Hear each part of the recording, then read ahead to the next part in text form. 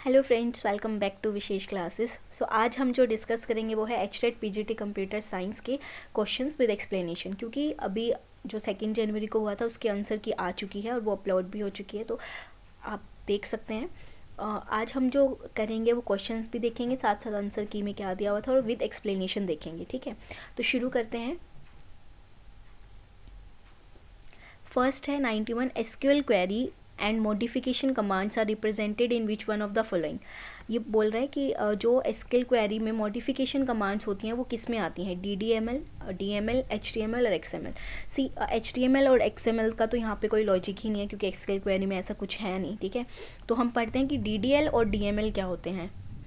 तो जो D DDLI that is a data definition language that is statements for creation and deletion of database for example create drop alter and rename ठीक है और जो manipulation language है that is D वो statement use होती है manipulate करने के लिए जैसे कि सिलेक्ट करना इंसर्ट करना अपडेट करना और डिलीट करना ठीक है नेक्स्ट क्वेश्चन था, बहुत ही इजी क्वेश्चन हैं एच के जो भी पूछे गए थे, बहुत डायरेक्ट क्वेश्चन पूछे हुए हैं कि primary author of H T M L is hyper text markup language का प्राइमरी ऑथर कौन है? दैट इज़ उन्होंने एग्ज़ाम्पल सॉरी ऑप्शन ये थे Brendan Eich Tim Berners Lee Google और पीटर नॉटन तो ऑब्वियसली इसका आंसर डायरेक्ट था that is Tim Berners Lee इसमें कुछ ऐसा समझने वाला है नहीं. नेक्स्ट आता है which tag is used for adding images to H web documents कि एच वेब डॉक्यूमेंट्स में आप कौन सा ऐसा टैग यूज़ करते हो जिसमें आप इमेजेस ऐड कर सकते हो? पिक्चर पिक इमेज और सोर्स तो that is image I M G direct tag था एच के टैग्स एच पे भी तीन, चार क्वेश्चन हैं इसमें। तो बहुत बेसिक क्वेश्चन है, अगर आपने बेसिक भी किया था तो ये पेपर बहुत बहुत ईजी आया था एज़ कंपेयर टू अदर्स ठीक है? नेक्स्ट करते हैं। ये मैंने कल वाले एनालिसिस में भी बताया था कि what is the right approach to deal with students error in computer programming there should be zero error errors even at the stage 1 having errors means student does not know programming. Errors are a part of programmers daily life. Should scold the student whenever there is an error see देखो error तो आते ही रहेंगे। मतलब ये एक part है programmers की डेली लाइफ का। जब तक एरर नहीं आएँगे, बल्कि आप समझोगे नहीं कि आपने गलती मतलब देखो, गलतियों से ही सीखते हैं ना हम तो एरर भी क्या है एक? मतलब कुछ गलती की थी आपने, तभी एरर आया, ठीक है? तो एरर्स क्या है? प्रोग्रामर्स की डेली लाइफ का पार्ट है। तो इसको एज ए वो कंसिडर नहीं करना है कि अगर आपका शुरू में ही एरर आ गया तो नहीं, मैं नहीं सीख सकता, नहीं सीख सकती तो ऐसा कुछ नहीं है। जो एरर्स हैं, वो प्रोग्रामर्स की डेली लाइफ का पार्ट होते ही हैं, ठीक है? नेक्स्ट आता है the root tag in H T M L document is called the root tag H T M L document में कौन सा होता है? हम एच टी एम एल का टैग देखते हैं कि कैसा स्ट्रक्चर है। एच टी एम एल का स्ट्रक्चर ये होता है। H T M L then head title head close फिर बॉडी शुरू होती है। बॉडी में जो भी हमें अपना देना होता है, ठीक है? टाइटल डैट इज़ पेज का जो भी टाइटल रहेगा, ठीक है? और एच टी एम एल पर ही क्लोज होता है। तो रूट कौन सा है आपके पास? एच टी एम एल ठीक है? H T M L next आता है which key combination shall, shall insert a new slide in current presentation in MS PowerPoint? तो इसमें से ऐसा कौन सा कॉम्बिनेशन है? देखो अगर आपको new document new presentation add करनी है that is control plus N पर एक उसी करंट प्रेजेंटेशन में न्यू स्लाइड ऐड करनी है that is control plus M ठीक है? डायरेक्ट क्वेश्चन था ये भी which of the following network is considered as the first network that initiated the internet कि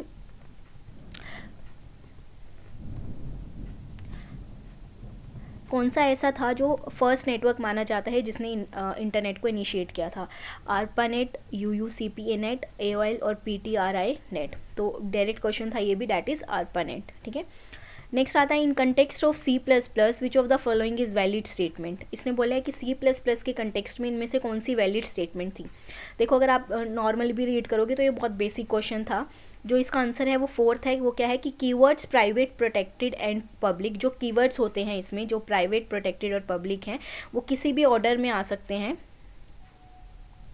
And any number of times वो क्लास में आ सकते हैं, ठीक है? तो ये ठीक है, किसी भी क्लास में वो की जो भी हैं प्राइवेट प्रोटेक्टेड पब्लिक कितनी कैसे भी किसी भी ऑर्डर में आ सकते हैं और कितने नंबर ऑफ़ टाइम्स भी आ सकते हैं, ठीक है? नेक्स्ट आता है which of the following is not one of the power point view again M S office से क्वेश्चन और ये भी बिल्कुल डायरेक्ट था कि कौन सा पावर पॉइंट का व्यू नहीं है that is slide show view slide view presentation view और आउटलाइन व्यू तो प्रेजेंटेशन व्यू ऐसा कुछ नहीं होता स्लाइड शो व्यू होता है स्लाइड व्यू होता है और आउटलाइन व्यू होता है, ठीक है? Next in M S Excel creating resulting what if condition based on several uncertain future condition is called फिर से एम एस ऑफ़िस से क्वेश्चन कि इन्होंने पूछा है कि एम एस एक्सेल में क्या होता है? Creating resulting what if condition based on several uncertain future condition is called उसको हम क्या बोलते हैं? देखो एम एस एक्सेल में जो होता है वो अगर हम रिजल्टिंग वट इफ़ कंडीशन देखें तो उसमें वो सिनेरियो क्रिएट करता है। देखो क्या होता है कि सपोज़ कि मैंने आ, मैं एक स्कूल में जॉब कर रही हूँ ठीक है? स्टूडेंट का डेटा है जो मुझे निकालना है ठीक है? तो स्टूडेंट के डेटा में मुझे देखना है कि किसने सिक्सटी परसेंट अबव लिया तो मैं एक सिनेरियो क्रिएट क्यों करूँगी? मतलब वट इफ़ लगा के if student marks is greater than sixty percent तो मुझे उसकी लिस्ट दिखा दे या फिर वट एवर या फिर किसी भी अनसर्टेन फ्यूचर कंडीशन पे uh, बोला है। तो इसमें हम सिनेरियो क्रिएट करके रखते हैं ऑलरेडी कि अगर ऐसा हो जाता है अगर सिक्सटी परसेंट से कोई ऐसा स्टूडेंट आता है तो उसको एक अलग लिस्ट में रखो या फिर वट जो भी आपने सिनेरियोज क्रिएट किए हैं ठीक है? तो इसका आंसर था सिनेरियो नेक्स्ट आता है which of the following is responsible for extended commands to arithmetic arithmetic logic unit of a computer ठीक है? तो इसने बोला कि इसमें से कौन सा रिस्पॉन्सिबल है for extending commands to arithmetic logic unit of a computer primary memory control unit external memory और कैश मेमोरी तो इस यहाँ पे जो है, वो कौन सा है? कंट्रोल यूनिट ये भी डायरेक्ट था. कंट्रोल यूनिट ही रिस्पॉन्सिबल होता है, जो अर्थमेटिक लॉजिक यूनिट तक आपकी कमांड्स को एक्सटेंड करता है, ठीक है? नेक्स्ट आता है which of the following refers to correctness and completeness of data in database कौन इंश्योर करता है कि जो आपकी डेटा डेटा है वो डेटाबेस में वो क्या रहे? करेक्ट हो और कंप्लीट हो। Data security data integrity data constant और डेटा इंडिपेंडेंस तो इसमें जो करता है डैट इज़ डेटा इंटीग्रिटी देख लेते हैं कि क्यों करता है। डेटा इंटीग्रिटी क्या कहता है कि वो रेफर्स करता है एक्यूरेसी और कंसिस्टेंसी ऑफ़ डेटा मतलब अगर एक गुड डेटा बेस होगा तो वो हमेशा डेटा इंटीग्रिटी इन्फोर्स करेगा ही जब भी पॉसिबल होगा। सपोज़ इसने एक एग्जांपल दिया है कि एक डेट का फ़ील्ड है, उसमें डेट ही एंटर हो सकती थी, पर एक यूज़र ने ट्राई किया, अपना फ़ोन नंबर डालने की तो वहीं पे डेटाबेस उसको कह देगा कि नहीं, आप ऐसा नहीं कर सकते, क्योंकि ये एक डेट फ़ील्ड है और आप इसमें कोई भी फ़ोन नंबर एंटर नहीं कर सकते हो, ठीक है? तो डैट इज़ कम्प्लीटनेस और कंसिस्टेंसी ठीक है? जो डेटाबेस को मेंटेन करके रखनी होती है कम्प्लीटनेस उसको मेंटेन करके रखनी होती है डैट इज़ डेटा इंटीग्रिटी ठीक है? नेक्स्ट आता है which of the following term is use to represent a set of rules in computer network कि इनमें से कौन से ऐसे हैं जो सेट ऑफ़ रूल्स होते हैं कंप्यूटर नेटवर्क में? Again direct question resource locator protocol domain और यूआरएल तो डायरेक्ट था सेट ऑफ़ रूल्स कौन से होते हैं? प्रोटोकॉल्स होते हैं, जो डिफाइन जिसमें रूल्स डिफाइन रहते हैं मतलब आपके प्रोटोकॉल्स बोलते हैं हम उनको, जो कंप्यूटर नेटवर्क्स में यूज़ होते हैं, ठीक है? अगेन नेटवर्क से क्वेश्चन क्वेश्चन है। Socket address is IPv4 address plus uh, translated to IPv4 combination of IP address and port address combination of MAC address and domain address or application layer address तो ये भी direct था combination of IP address and port address is known as socket address ठीक है in dbms when a transaction completes its execution it is it is code said to be saved loaded rolled and committed तो answer is fourth that is committed क्या होता है देखो जब एक transaction complete होती है तो हम उसको बोलते हैं कि ये अब कमिट हो चुकी है ठीक है? जैसे ट्रांजेक्शन वाला है उसमें बीच में क्या होता है कि वो रोल बैक भी कर जाती है अगर उसका कोई ट्रांजेक्शन बीच में आ गया फिर हाई प्रायरिटी पे आ गया फिर कुछ भी वट नेटवर्क की वजह से। बट जब वो एक कंप्लीट कर लेते हैं अपना एग्जीक्यूशन तब हम उसको बोलते हैं कि ये वाली ट्रांजेक्शन अब कमिट हो चुकी है ठीक है? Which data base normal form is considered satisfactory for relational data base design three N F को कंसिडर किया जाता है सेटिस्फैक्ट्री uh, क्यों? क्यों? कंसिडर किया जा, किया जाता है। हम ये देखते हैं, कुछ पॉइंट्स हैं। Third normal form is a database schema design approach for relation database जो नॉर्मलाइज करती है प्रिंसिपल क्या। एक तो इसमें डुप्लीकेशन ही होता है डेटा का डेटा एनोमलीज अवॉइड करती है डिफरेंशियल इंटीग्रिटी इंश्योर करती है और सिंप्लीफाई करती है आपके डेटा मैनेजमेंट को। हालाँकि ये फ़र्स्ट एन एफ़ और सेकेंड एन एफ़ में नहीं होता। थर्ड एन एफ़ में तीनों आ जाते हैं तो हम इसको कंसिडर करते हैं एक सेटिस्फाइंग रिलेशनल डेटाबेस डिज़ाइन ठीक है? For relation database design next आता है from which of the following is H T M L derived again easy question और डायरेक्ट था कि किससे uh, आपका H T M L derive हुआ है। तो that is U S T M L उससे ड्राइव हुआ है। U R L T C P I P और एक्स एम एल आपको ऑप्शन दिए हुए थे। तो आंसर क्या था? एस टी एम एल हम एस जी एम एल के बारे में भी देख लेते हैं। एस जी एम एल क्या है? एक स्टैंडर्ड जर्नल मार्कअप लैंग्वेज है और एच टी एम एल उसका क्या है? सबसेट है। अगेन डायरेक्ट क्वेश्चन था next again direct question from SQL query the outcome of SQL select statement is file table report और form obviously SQL select statement का क्या होता है? जो डायरेक्ट आउटकम होता है वो एक टेबल होती है। जैसे हम बोलते हैं ना select star from customer customer आपकी एक टेबल है जिसमें से आपका क्या होगा? तो वो निकालेगा। स्टार मतलब जितना भी डेटा है उस टेबल में वो सारे आपको रोज एंड कॉलम के साथ दे देगा। तो डैट इज़ आपको क्या मिलती है? एक टेबल एसक्यूएल क्वेरी पे मैं आपको एक्सप्लेनेशन के साथ एक uh, प्ले एक सीरीज़ बनाने की कोशिश करूँगी तो वहाँ से आपको समझ में आ जाएगा। तो अगर आपको और कुछ भी है ऐसा कि जो आपको टॉपिक पूछना है या समझना है तो प्लीज़ मुझे कमेंट बॉक्स में ज़रूर बताएँ। और अगर आपने अभी तक मेरे चैनल को सब्सक्राइब नहीं किया है तो do subscribe my channel and share with your friends and family तो नेक्स्ट है A database management system is collection of interrelated data, collection of program to access data, collection of data describing one particular enterprise, all of the three.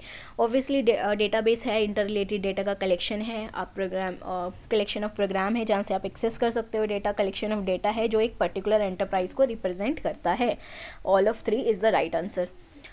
O C R full form थी direct O C R stand for online character rendering optical character recognition online character restoration और optical character reorganisation तो answer is optical character recognition ठीक है?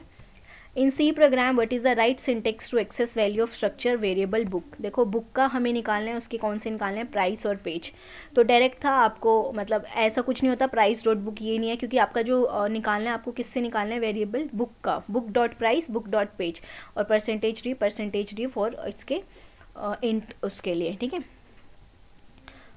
और यहाँ पे ऐसा कोई ऐसे सिंबल नहीं है तो ये भी नहीं है थर्ड ऑप्शन करेक्ट नहीं था फोर्थ भी नहीं था तो फ़र्स्ट ही आपका क्या है करेक्ट और Which of the following protocol used to transmit information on the World Wide Web? HTT, HPP, HPPT, HTTP. Obviously third is the right answer HTTP. आपके पास जो HTTP होता है वही आपका हाइपरटेक्स्ट ट्रांसफ़र प्रोटोकॉल एक एप्लीकेशन लेयर प्रोटोकॉल है जो यूज़ होता है distributed collaborative hyper media information system में एच एक फाउंडेशन है of data communication for world wide web तो जब हाइपर टेक्स डॉक्यूमेंट इंक्लूड करते हैं हाइपर लिंक्स तो वो आपको अलग सोर्सेज पे ले जाता है। फॉर एग्जांपल जब भी आप माउस क्लिक करते हो किसी भी वेब ब्राउज़र पे तो आपको किसी पे ले जाता है, ठीक है? तो एच इसलिए यूज़ होता है। Next Which of the following is most commonly used data structure for implementing Dijkstra algorithm?